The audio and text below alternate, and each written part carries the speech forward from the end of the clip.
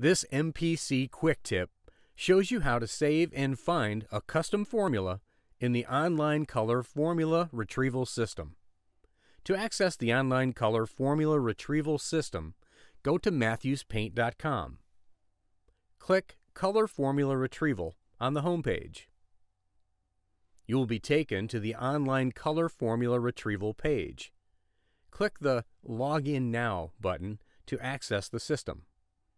Only registered users assigned to your company will be able to access your formulas. To add a formula, click Add My Company Formulas. Enter the alphanumeric formula in the Customer Formula Number field. Enter the color description in the Color Name field. Select the product line. This selection is determined by the product lines your company has access to. To change this selection, contact customer service. Enter the intermediate code and amount tabbing between columns. The description will populate based on the code entered.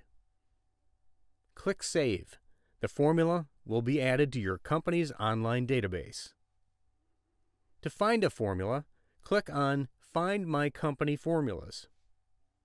Enter the customer formula number or the color name. A pull-down menu will appear as you start typing to assist in the selection process. Click Search. The results will appear below.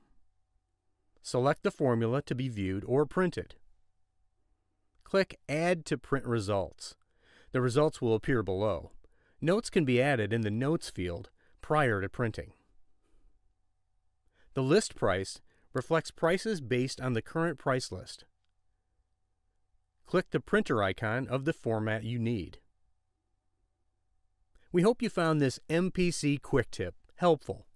If you have questions, contact customer service at 1 800 323 6593 through email or via Facebook and Twitter.